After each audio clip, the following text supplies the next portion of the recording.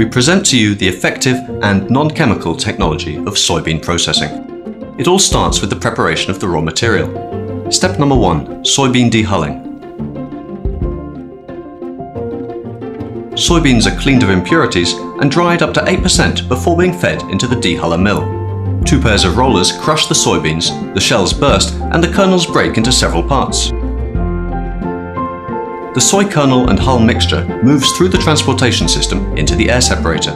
Soybean shells are very light, allowing the airflow to move husks up and output them through the cyclone. Soybean kernels are discharged from the air separator and fed into the extruder.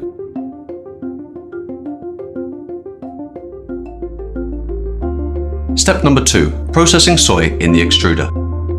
The feedstock is conveyed forward by the screw inside the extruder barrel under a high shear, it is compressed, mixed and heated. The soy is processed in less than 30 seconds.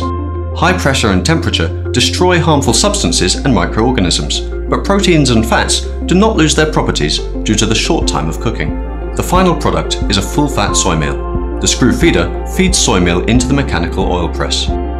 Step number 3. Mechanical oil extracting in the oil press. The product is moved along the press cage, being squeezed and pressed again. Under pressure, the oil seeps out through the press cage gaps and gathers in the reservoir below. We also get an oil cake with oil content of 7 to 8% and temperature 120 to 130 degrees Celsius. Step number 4. Cooling the oil cake down. The oil cake is fed into the cooler. The cooler's tumbler rotates and stirs the oil cake down to the discharge section. The fan creates a flow of air through the raw material.